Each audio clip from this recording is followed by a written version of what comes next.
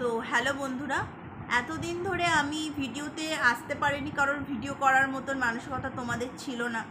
আগের দিনকে তোমরা আমার মায়ের ভিডিও দেখেছ যে আমাদের কি অবস্থা হলো, কি অবস্থার মধ্যে দিয়ে আমরা এখন যাচ্ছি সেটাও আমরা নিজেরা জানি ভালো মতন। আর আজকে সকালবেলা আমি যে ভিডিওটা ছেড়েছিলাম, সেই ভিডিওটা হচ্ছে আমার মামি আর ওই যে দুই মেয়ে ওর। আমি বলেছিলাম যে আমার মামির দুটো মেয়ে রয়েছে। তো এখানে না মানে প্রতিবাদ করার হলে না সামনে দাঁড়িয়ে যে প্রতিবাদ করব সেই সেই জায়গাটাও নেই। আমার যেদিনকে আমার দাদু মারা গেল তার কয়েক আহ, পর তার পরদিন থেকেই আমার বরের শরীর খারাপ। তোমরা দেখলে ও র্যাপিড টেস্ট করিয়েছিল সেটাও ভিডিও আমি দিয়েছি। আজকে এত এত টাকার ইঞ্জেকশন এত এত টাকার ওষুধ তাকে প্রোটিনেক্স খাওয়ানো হয়েছে, সেই পাউডারের। সেটাও হাজার দেড় হাজার টাকা দামের। যখন বলেছে রাত্রির আটটায়, তোমরা ভাবতে পারবে না। বৃষ্টি, ঝড়, তার মধ্যেও লোক ঠিক করে, নয়তো আমার বাবা যেভাবে খুশি হোক, সেখানে ওষুধ ইঞ্জেকশন পৌঁছানো হয়েছে। যখন ওরা বলেছে, মুখ থেকে একবার খালি হোয়াটসঅ্যাপে পাঠিয়েছে। হোয়াটসঅ্যাপে ওরা সমস্ত ওষুধ ইঞ্জেকশনগুলো হোয়াটসঅ্যাপে পাঠাতো। নয় মামির হোয়াটসঅ্যাপে পাঠাতো আর নয়তো আমার হাজব্যান্ডের নাম্বার ওখানে পরে দেওয়া হয়েছিল, ওর হোয়াটসঅ্যাপে পাঠানো হতো। যখন বলেছে, তখনই পাঠানো হয়েছে, তখনই যে পেশেন্টের ইমিডিয়েটলি প্রয়োজন। বাইরে বজ্রবিদ্যুৎ সহ বৃষ্টি হচ্ছে, বাবাকে পাঠানোর মতন অবস্থা নেই। আমি তা, আমি তাও ওনাদেরকে রিকোয়েস্ট করে বললাম যে সকালে কি পাঠানো যাবে? না, পেশেন্টের অবস্থা এতই খারাপ যে এক্ষুনি পাঠাতে হবে রাইট নাও কি হলো সেই ওষুধ আর ইঞ্জেকশনগুলোর আমার আমার জানা, জানতে ভীষণ ইচ্ছা হচ্ছে যে সেই ওষুধ আর ইঞ্জেকশনগুলোর কি হলো? কি করল ওরা এই ওষুধ ইঞ্জেকশনগুলো নিয়ে? যখন আমার মামাকে ওরা দেখতে যায়, তখন দেখে যে ওদের, মামার পুরো মুখটা নীল হয়ে গেছিল। ঠিক আছে? পেটটা ভেতরে ঢুকে গেছিল। দেখে মনে হয়েছিল যে তাকে এক সপ্তাহ ধরে খেতে দেওয়া হয় না। সে ওই রকমভাবেই রয়েছে, যেরকম ছিল। বলা হয়েছে আমাদের বাইপাসে অক্সিজেন চলছে। কোনো বাইপাসে অক্সিজেন চলেনি, সব মিথ্যে মিথ্যে। কিচ্ছু করেনি ওরা, কিচ্ছু না। এমনি দুটো মানুষকে মেরে ফেলেছে, এমনি। যখন আমার মামি হাউ হাউ করে চিৎকার করে বলছিল যে, আমাকে কাগজ দেখান, কাগজ কোথায়? আমাকে কাগজ দেখান। একটা কেউ কাগজ বের করতে পারল না, যে পেশেন্টটা আগের দিন মরে গেছে পরের দিনে তার কাগজ কোথায় সেইটা বের করতে পারল না। তাহলে আপনারা চিন্তা করুন, কল্যাণী এনএসএস কোভিড হসপিটাল একটা হাসপাতাল না, ওটা একটা জমের দুয়ার। ওখানে যারা যায়, তারা মরতে যায়। দুই দুটো জীবন খেয়ে নিল, দুই দুটো জীবন। আমার মামা যেদিনকে ভর্তি হয়েছে, সেদিনকে পর্যন্ত আমার মাকে এই কথাটা বলতে পেরেছিল, ভর্তি করার সময় যে, দিদি, তুই একটা পিপি কিট নিয়ে আসিস আমাকে তো মাঝে মাঝেই দেখতে আসবি পিপি গিটটা পরে আসিস। সেই মানুষটা এক সপ্তাহের মধ্যে মরে যায় কি করে? এত হাই ট্রিটমেন্ট পেয়ে সে মরে যায় কি করে? আমার কথা হচ্ছে তাই। যে এত ট্রিটমেন্টের তাহলে কী হলো? পেশেন্টের যে অবস্থার অবনতি ঘটছে তাহলে পেশেন্টকে অন্য জায়গায় নিয়ে যান। কেন আপনারা জানাননি? কেন বলেননি যে পেশেন্টকে অন্য জায়গায় নিয়ে যান? আপনাদের তো তাহলে বলা উচিত ছিল। কেন জানানো হয়নি এগুলো আমাদেরকে? তাহলে আমরা চেষ্টা করতাম অন্য জায়গায় গিয়ে জানতে পারতাম না। আমাদের আমাদের হাতে তো এটা ছিল না যে তাকে সে তাকে আমরা বাঁচাতে পারব। অ্যাটলিস্ট তাকে মরে যাওয়ার হাত থেকে তো বাঁচাতে পারতাম। যে বিনা চিকিৎসায় যে সে মরছে, এটার হাত থেকে তো বাঁচাতে পারতাম। কল্যাণী এনএসএস কোভিড হাসপাতাল একটা মরণ দুয়ার। ওই দুয়ারটাতে আগুন জ্বালিয়ে দেওয়া হোক, বন্ধ করে দেওয়া হোক ওই হাসপাতালটা। ওইখানে রেকর্ড রয়েছে, আমি আমি এখন খোঁজ খবর পাচ্ছি যে যত ক্রিটিক্যাল পেশেন্ট ওখানে গেছে, সব মরতে গেছে ওরা। কেউ বাড়িতে আর আসেনি।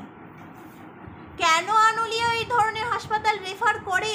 তাহলে কি আনুলিয়ার সাথেও রানাঘাট আনুলিয়া হাসপাতাল, আপনারা ভালো করে হাসপাতালের নামটা শুনুন। রানাঘাট আনুলিয়া হাসপাতাল, এই এনএসএস কল্যাণী কোভিড হাসপাতালকে রেফার করে। সমস্ত পেশেন্ট ওদের এখানে রেফার হয়।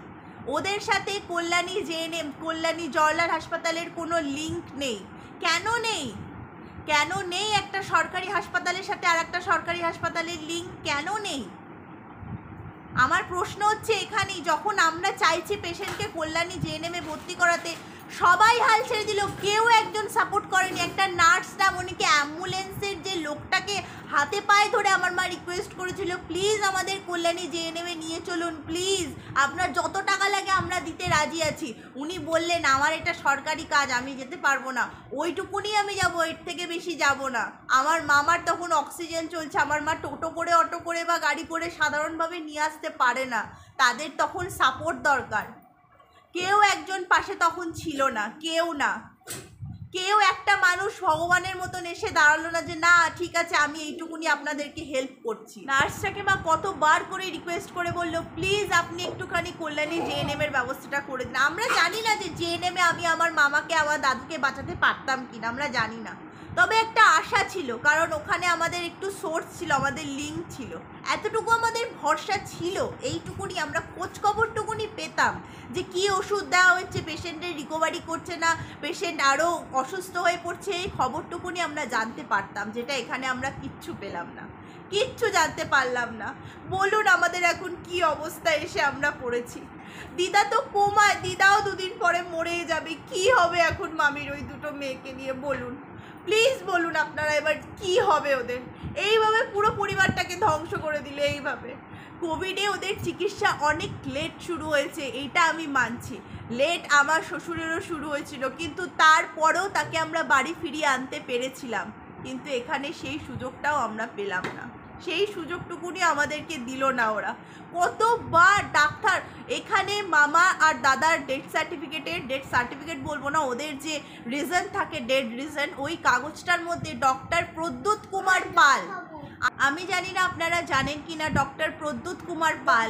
এই নামটা ভালো করে জেনে রাখুন ডক্টর প্রদ্যুৎ কুমার পাল। এই নামটা ওখানে মেডিকেল রেজিস্ট্রেশন বলে মেডিকেল অ্যাসিস্ট্যান্ট বলে এই নামের একটা সিগনেচার আছে। আমি জানি না ইনি ডক্টর কিনা, তবে ইনি লাস্ট ওইখানে সিগনেচারে সিগনেচার করেছেন। ওনার নামটা রয়েছে। যদি ইনি দেখে থাকেন, কেন তার বুকের পাটা নেই একবার সামনে এসে পেশেন্টের বাড়ির লোকের সাথে কথা বলার? তার বুকের এই পাটাটা নেই? তাহলে সে কিসের ডাক্তার? কিসের ডাক্তার সে? সে এইটুকুনি বলতে পারে না যে পেশেন্টের অবস্থার উন্নতি ঘটছে না অবনতি ঘটছে, এইটুকুনি তার বলার বুকে সাহস নেই? সে যদি বলতো যে না, এখানে পেশেন্টের অবনতি ঘটছে, আপনারা রেফার করলে, রেফার নিয়ে যেতে পারে, কেন তিনি বললেন না?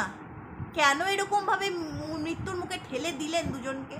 আমার এখন মনে হচ্ছিল কোনো বাইপাস চালনি, কোনো ওষুধ দেওয়া হয়নি, একটা খালি জায়গায় এরকম ফাঁকা ঘরের মধ্যে দুজন মানুষকে রেখে দিয়েছিল। আমার চোখে চোখে ভাসছে আমি রাত্রিবেলা ঘুমাতে পারছি আমার চোখে চোখে এটাই ভাসছে। যে এরকম ফাঁকা ঘর দুখানা পাশাপাশি বেড দুজনকে শুয়ে রেখে দিয়েছে কোনো অক্সিজেন চলেনি কোনো বাইপাস চলেনি কিচ্ছু হয়নি। কিচ্ছু হয়নি শুনে রাখুন কিচ্ছু হয়নি। কল্যাণী কল্যাণী এনএসএস কোভিড হাসপাতাল একটা মরণ দুয়ার। ওখানে মরতে যায় সবাই। আমাদের ভাগ্য খারাপ ছিল তাই মরতে পাঠিয়েছিলাম আমি আমার মামা আর দাদাকে। আমি একবারও ভাবিনি যে মামা নিজের বাড়িতে আর কোনোদিন ফিরতে পারবে না। তার মেয়েদের কাছে আর কোনোদিন ফিরতে পারবে না। আমি আর মামার মুখটা কোনোদিন দেখতে পারব না। আমি আর এরকম কোনো দিন ভাবিনি। আমাদের, আপনাদের কাছে হাত জোর করে রিকোয়েস্ট করছি। আপনাদের যদি কোনো পেশেন্ট কাছাকাছি থেকে থাকেন, আপনারা কেউ up to Chakdah up to এদিকে যেখানে আমার এখন আর মাথায় আসছে না। যদি কেউ মনে করে থাকেন যে এই কোভিড হাসপাতালটাতে ভর্তি করাবেন করাবেন না। এইটা একটা মরণ দুয়ার এখানে মরণ ফাঁদ ফেঁদে রাখা থাকে সব সময় পেশেন্টের জন্য। শুধু ওরা রোগীদের কাছ থেকে চেষ্টা করে কীভাবে হোক টাকা হাতাবে আর শুধু চেষ্টা করে যে সব টাকা যখন হাতানো হয়ে যাবে মিনিমাম ওদের একটা রেট থাকে দশ বারো হাজার টাকার রেট থাকে যখন ওরা গুছিয়ে নেয় ব্যাস পেশেন্টকে মেরে ফেলবে। আর ওদের সাথে কোনো সম্পর্ক নেই কালকে চুপ করেছিল একটা লোক মুখ খোলেনি। একটাও লোক মুখ খোলেনি সবাই চুপ করে ওখানে বসেছিল। আমার কাছে ভিডিওটা করার এই জন্যই রিকোয়েস্ট আমি এই হাসপাতাল নামটা জোরে জোরে প্রত্যেকবার বলব, কল্যাণী এনএসএস কোভিড হাসপাতাল। আপনারা যাবেন না ওখানে, যাবেন না কোনো দিন যাবেন না। কল্যাণী এনএসএস কোভিড হাসপাতাল, একটা মৃত্যুর দুয়ার। ওখানে ওখানে কোনো কিছু কোনো কিছু ওখানে দু নাম্বারই কাজ কারবার চলে ভেতরে। ওখানে নিশ্চয়ই ইনলিগাল কোনো কাজ চলে, ওখানে পেশেন্টকে দেখা হয় না। আমার কথা শুনুন, আমরা দুটো দুটো মানুষ হারিয়েছি, ওখানে কোনো পেশেন্ট দেখা হয় না।